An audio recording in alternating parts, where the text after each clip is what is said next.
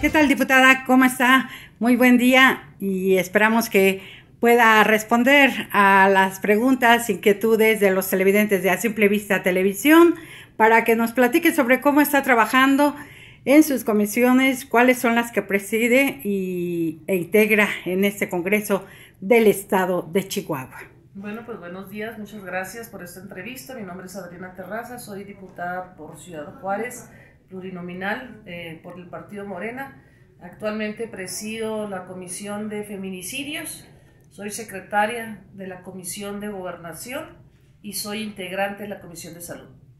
Sí, es muy importante en el tema de los feminicidios preguntarle cómo está la situación actual en el estado de Chihuahua. Sabemos que durante años se ha agobiado a las mujeres con violencia, con desapariciones, con asesinatos, con lo que es el tema del feminicidio.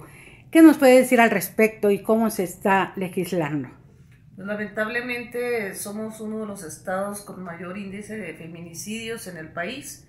En, el estado de Chihuahua tenemos, nos han, hemos declarado cinco municipios este, con alerta, en alerta de feminicidios, lo que es Ciudad Juárez, eh, Chihuahua, Cuauhtémoc, este, en la sierra también hemos visto que, que ha aumentado desafortunadamente. Estamos legislando en favor del cuidado y la protección de las mujeres. ¿Qué es lo que sucede en la sierra específicamente con las mujeres chihuahuenses? ¿Cómo están enfrentando esa violencia? ¿Cómo están ocurriendo los feminicidios en esas zonas? Bueno, pues eh, ha crecido este, de manera eh, lamentable en, el tema de los, de los feminicidios. Eh, yo considero que habría también que establecer qué es feminicidio por cuestión de género y cuáles son por violencia, ¿no? Violencia este, por el crimen organizado también, donde desafortunadamente que, que hace una diferencia, donde muchas mujeres desafortunadamente también han perdido la vida. ¿Y qué es lo que se está haciendo desde la actual legislatura?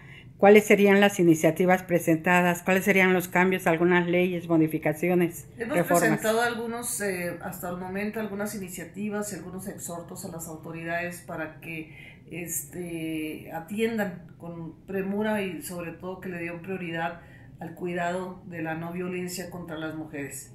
Estamos por aprobar el presupuesto de, de ingresos de aquí del Congreso del Estado y bueno, estamos pidiendo que los centros de justicia para las mujeres y algunas otras este, eh, dependencias o, que dependen del gobierno eh, puedan atender de manera puntual la atención a la no violencia contra las mujeres. ¿Cómo se está planteando en el presupuesto 2022?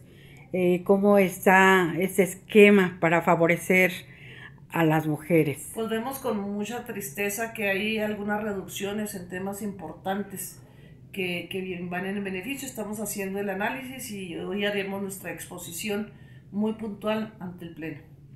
Sí, eh, ¿nos podría adelantar algo sobre lo que va a plantear hoy?